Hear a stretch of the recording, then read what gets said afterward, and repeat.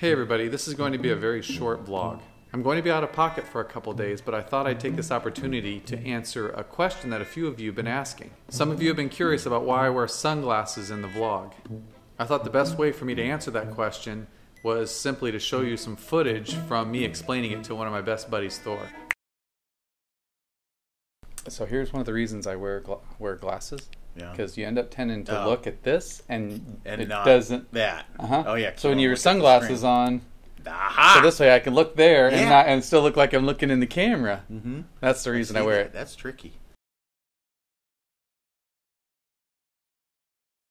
But one more quick thing before I go. I've been pretty good about releasing a vlog every day since I started this new series. But now that I'm going to be on this business trip for a couple days, I'm not exactly sure how much time I'll have. So I just wanted to give you a quick heads up so you're not wondering where I am and why you're not seeing something over the next couple days. But keep your eyes peeled because I have plenty of content brewing. Thanks for watching.